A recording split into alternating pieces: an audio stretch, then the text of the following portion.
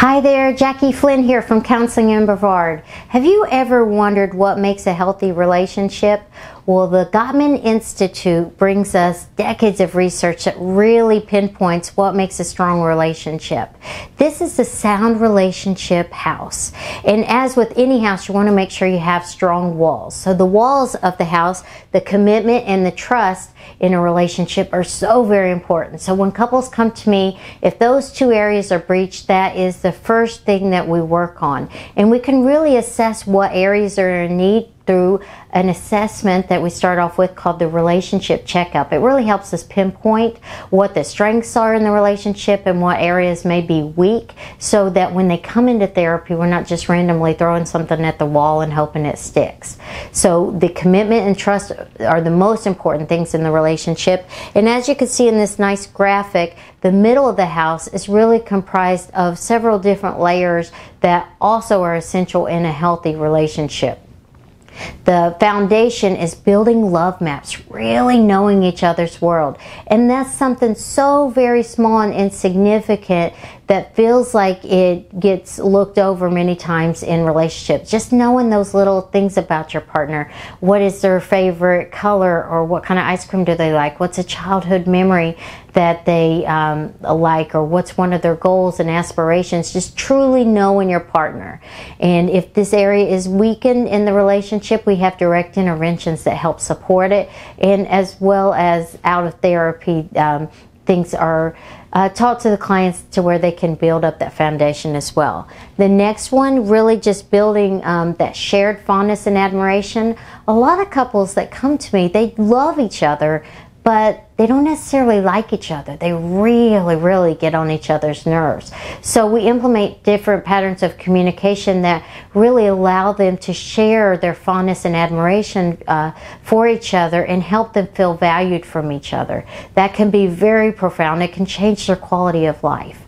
Now, their next, the next level, the sound relationship house, turning towards instead of away, that one is just a little tweak that can make a huge difference. That's having the just the physical i'm facing you when i'm talking to you i'm not in my phone or my computer. And also the literal when things come up do i call you? Do i lean in and tell you things in my life that are personal? Now it's interesting those three bottom floors of building love maps sharing fondness and admiration and turning towards those are really the floors that really are conducive to healthy intimacy in the relationship.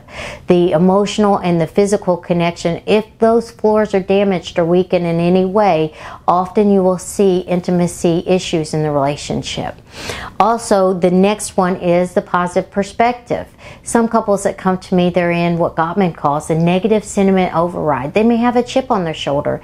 They may uh, hear their partner say, I love you, or, you know, I'm doing this for you, and take it totally as a negative out of context just based on prior hurts and pains in the relationship.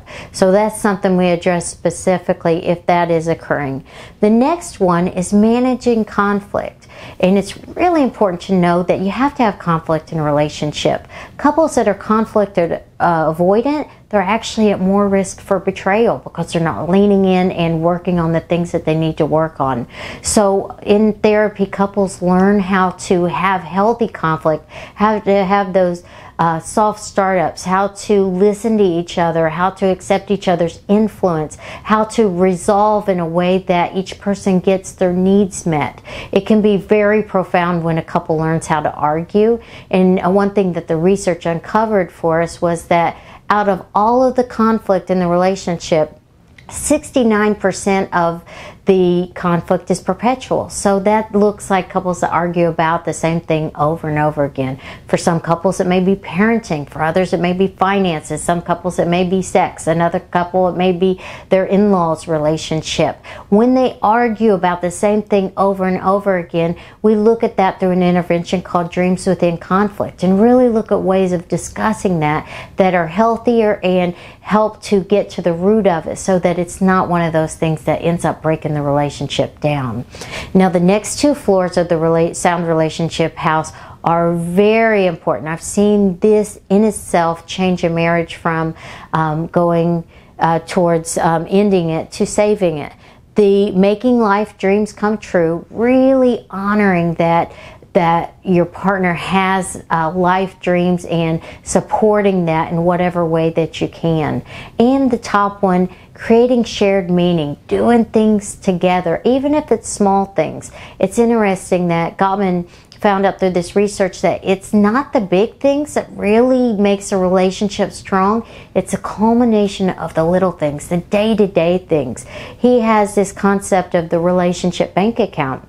And just like as in any bank account, you want to make sure you have way more deposits than withdrawals in relationships. The research showed that you need five times as many positives as negatives, which that sounds pretty morbid, but knowing that really can help couples culminate a culture of really being able to add to the relationship and get that balance up so that when the when the cuts and the hurts and the pains happen that they have enough to cover it in that relationship bank account and they accept influence from each other. One thing that's really um, a biggie as well is the bids for connection. When one partner makes a bid for connection is it accepted by the other partner?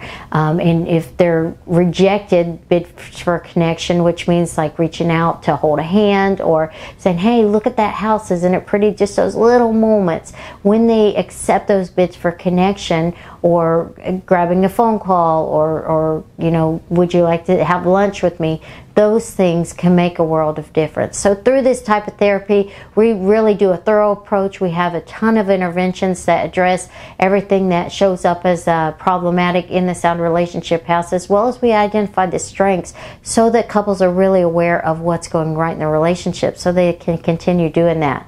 Thank you so much for listening. Again, I'm Jackie Flynn from Counseling in Brevard, and you can find me at my website, counselinginbrevard.com, or you can reach me at 321 544 2743. Many of my clients benefit from flexible scheduling. They may have a, a, busy work schedule or just having children at home. It's hard to get that child care. So I do offer online session. Sometimes I have evening openings after the children go to bed so that you can have the therapy that you really can help you have a healthy, happy, sound relationship um, even amidst those scheduling issues. Thank you. Take care.